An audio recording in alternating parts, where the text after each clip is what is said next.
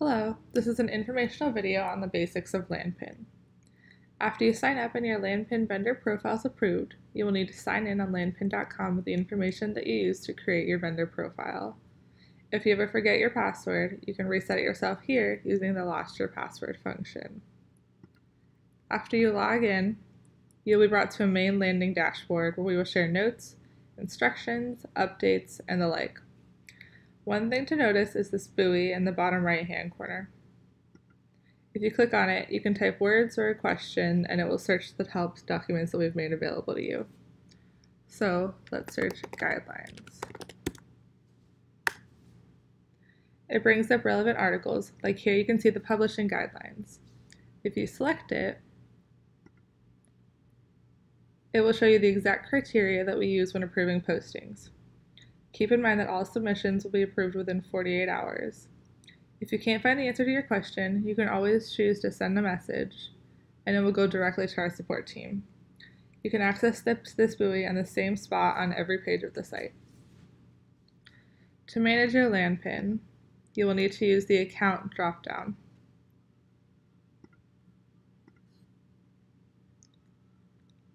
The first option is Welcome, which is the main page we are on now.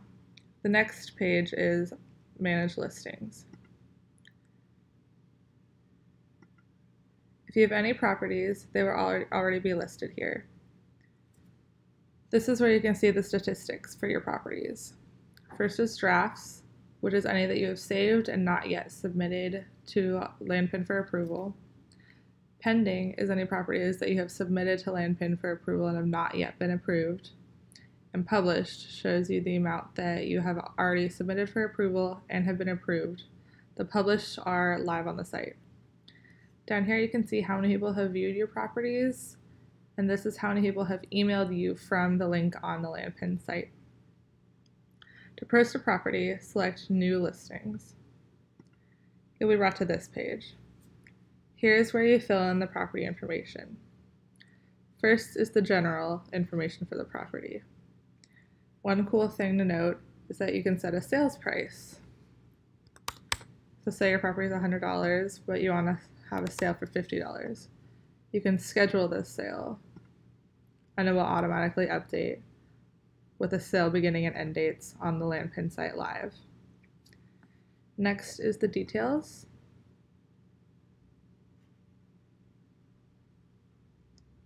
Then the utilities. Miscellaneous, and image and videos. You must have at least a lead image with no pictures, drawings, etc. Um, when you are finished, select Save, and it will be submitted to LandPin for approval. Properties are approved within 48 hours, but it is usually much quicker. From the listings page, the next drop down is my account. This can also be accessed from the account menu and it's called membership. This is where you can manage your account, upgrade or change your subscription, and see any invoices. So any payments you've made will go down here. The next tab down is billing. This is just where you can update your credit card on file. Last tab is Profile. This is where you can manage your seller profile. This is also where you can put in all of your information for other websites and change your password. It is vital to fill this in as fully as possible as this is how buyers will contact you. Make sure you select to save your changes at the bottom when you're finished editing your account. The, there's more information on this in a document called Editing Your Profile that you can find by searching in the buoy. If you would like your, logo, your logo to be updated in your seller block, please email to support at landpin.com and we will update it for you. We do recommend that for your first time posting, you only submit a few properties for approval, so if there are any issues and you have to correct them for a small number of properties instead of having to correct a large number of submissions. Thank you for watching this informational video on LandPin and happy posting.